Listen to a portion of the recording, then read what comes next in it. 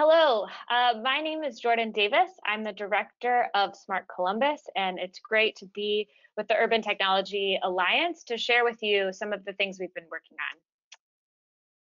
We were fortunate enough to be the sole winner of the US Smart Cities Challenge in 2016. And since then, we've really used that as a seed to think holistically about the future of mobility and how we can use technology to improve people's lives. If I think back to 2016 when we were competing in this challenge, I think there were a few key reasons why we we ended up being the winner. One is we really are a test market. We're a mid-sized city in the heart of America.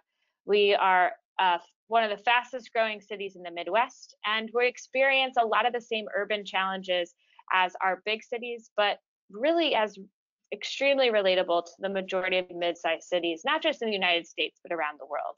And so we believe that the pilots that we are deploying and have been deploying um, are things that can others can learn from uh, as well. So we are making this investment go further.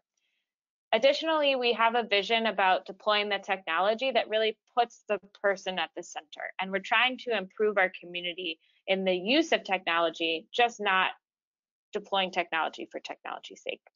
And last, I would say, is really our X factor, which is what we call the spirit of the Columbus way. It's our commitment to public and private partnerships, and that we've walked the walk in every aspect of this program. Um, and from the very beginning, we were able to secure $90 million of new aligned investment from our partners in the region uh, to match the grant. And since we've been able to take that up to about 720 million. Uh, and it's really helped us to go beyond the grants um, and think holistically about the community of the future that we want to bring to life. So when you think of uh, this investment, I really think of um, the future of mobility in an acronym called CASE, and that mobility will be more connected, autonomous, shared, electric, and it'll be supported by data. So for the time I have with you, I'm going to briefly just highlight a few of the pilots that are underway and happening within our community.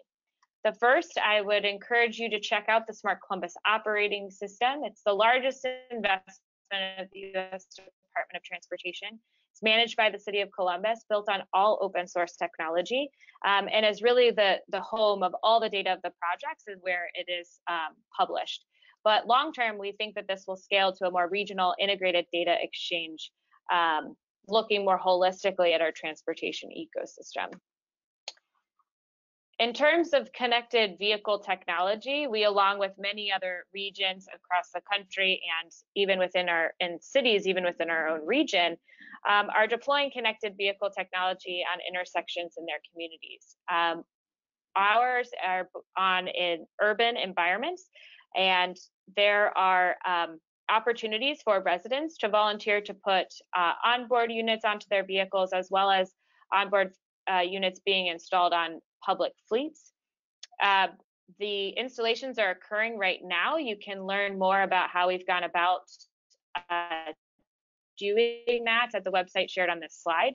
Um, but we are very encouraged with the participation rate um, and are optimistic about the findings of this pilot. You'll be able to find the data on the operating system, as I mentioned, um, and really supporting the R&D in this space. On the autonomous vehicle front, we have deployed two autonomous vehicles. Um, one began in downtown Columbus as a circulator, really as a teaching and learning tool, um, really focusing in on how do we build trust for this technology and its deployment and investment in our community. Uh, we believe we were successful at that with over 16,000 rides um, given on here and from the surveys really increasing um, the the trust factor of the technology. However, we did figure out that that use case really wasn't um, dependent enough to warrant sustained investment in that route. Um, we use those learnings, however, in the operation and uh, the design of the program to take to the USDOT funded deployment in a neighborhood called Linden. Linden is a lower income neighborhood in our community that suffers from a variety of inequities. Um, and one of which really limits the access to opportunity is mobility. Um, and our mayor is excellent at um, really setting the vision for our community that mobility is the great equalizer of the 21st century. And the vision of this project was that we could solve for the first mile, last mile gap with this self-driving vehicle. Um, as the pandemic has uh, impacted our community, as in every other community in the country, we've shifted the use case to critical food delivery from a food pantry to a large residential development in the neighborhood. And that's currently still operating on our roadways and will be through next year. Shared mobility, we think really is the future, and it's a full ecosystem supported and anchored by our public transportation system. We are the largest mid-sized community uh, without a light rail system, but we do have an excellent bus system. So definitely would be remiss not to celebrate COTA's leadership and being recognized as an outstanding mid-sized public transit agency for the second time in three years. And a lot of that is because of their forward-thinking nature and thinking about their role um, as moving all people and connecting people to a variety of different ways to move.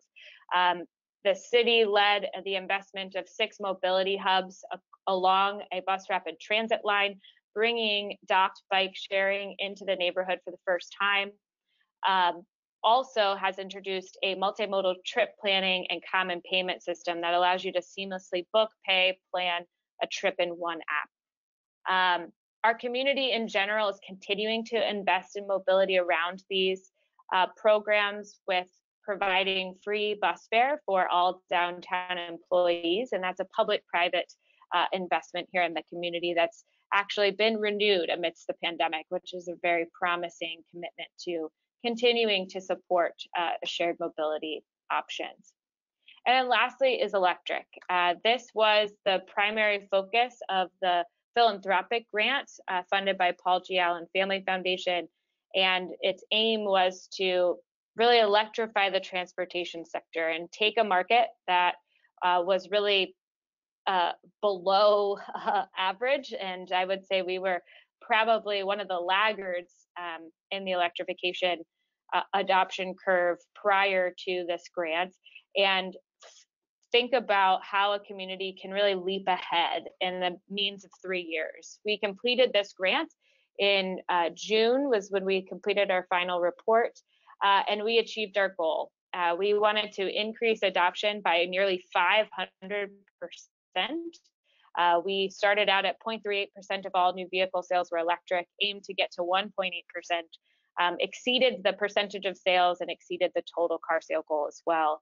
We are fortunate to have a very close partnership with our utility, AEP Ohio, who invested alongside of us in a pilot rebate program that dramatically expanded the um, charging network uh, throughout our region. But we wouldn't be able to achieve a lot of these goals without a collective action agenda. The city could not have done this alone, um, especially a lot of the things I mentioned, while technically have great technology behind them also require a culture shift. And we enlisted about 71 employers uh, to work alongside of us across five goals. And we called this the Accelerator Partner Program.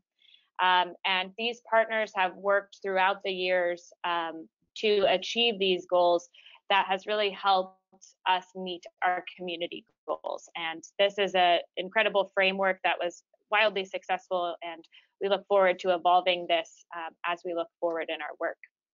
Um, and just as the private sector has done, so has the public sector around us. Um, beyond the grant, we've seen a lot of investment in the future of mobility in our community, whether it's a smart campus strategy at the Ohio State University, one of the largest universities in the country, um, to investment in a private proving ground for autonomous vehicles, um, going after the Hyperloop. There's a lot of activity that really make up a full smart region uh, ecosystem around mobility.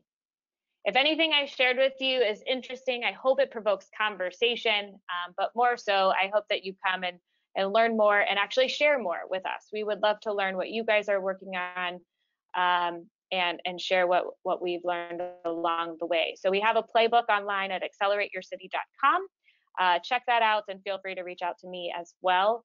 And I just appreciate um, all that the cities around the country are doing. We have learned so much from other people. Um, this is a, hopefully a representation of a lot of inputs uh, from many of you and uh, from your communities. So I, I think the smart city space is uh, a place where we all have a role to play, and we will we will achieve the future we all want if we work together. So um, thanks for having me, and I look forward to the discussion.